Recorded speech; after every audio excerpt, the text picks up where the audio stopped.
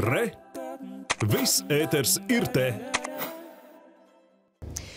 Atzīmējot ugunsdzēsēju un glābēju dienu un 151. ugunsdzēsības gada dienu Latvijā, valsts ugunsdzēsības un glābšanas dienas šodien rīko atvērto durvju dienu ugunsdzēsības depo visā Latvijā un arī piešķīra apbalvojums labākiem darbiniekiem. Stāst Maimigla.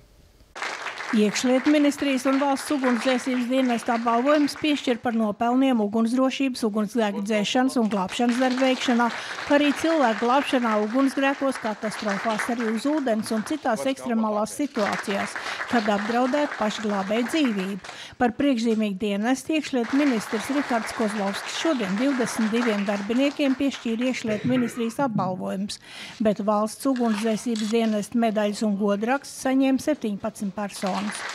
Apbalvojuma zīme par pašaizliedzību piešķirt pieciem cilvēkiem, kas drosmīgi rīkojoties izglābuši nelaimē nonākušos.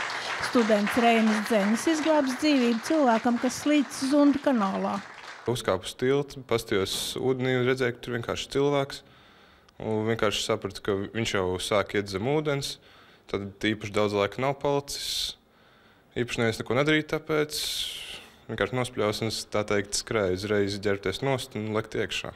Savukārt Siguldas ugunsdzēsējs Valters Zeltiņš ir glābs piecu cilvēku dzīvības. Dodoties uz darbu, viņš pamanīs kādā mājā dūmus. Uz ielas jau bija cilvēki. Viņi jau tā kā ar telefoniem nu, filmē, nu, kā, kāds ir ierasts mūsdienās, vai ne? Un es domāju, nu, kad jau visi cilvēki ir izgājuši ārā un kad viss ir kārtībā, vai ne? Bet tad, nu, es nezinu, man kaut kāda iekšējā balss, vai nu kā to nosaukt, grūti man teikt likuma apstāties. Un uh, es tiem cilvēkiem, nu, tie, kas filmē ar tiem telefoniem, jautāju, nu, vai tad, uh, viņi ir iegājuši iekšā, pārbaudījuši, paskatījušies, Viņi saka, nē, mēs izsaucām ugunsdzēsēju, tas ir ugunsdzēsēja darbs. Pieņēma lēmumu, nu, kā doties nu, iekšā šajā mājā. Tos, kurus varēja, tos pamodināja, un tos pārējos tā kā nones lejā. Apbalvojumus saņēma arī ugunsdzēsēji, kur nocēla cilvēku no 75 metru augstu torņa, kā arī vīru, kas makšķerēdams Nabas ezerā izglāba divus slīkstošos.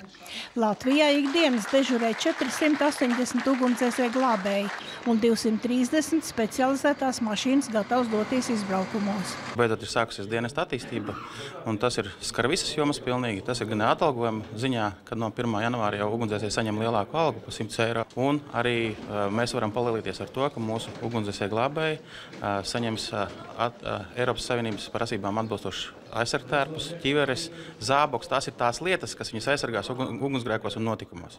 Iekšlietu ministrs Rihards Kozlovskis apstiprināja, ka ugunsdzēsēji līdz nākamā gada beigām saņems 77 jaunu transporta līdzekļus veco nolietoto vietā. Māja Miglingas Graudiņš Latvijas televīzija.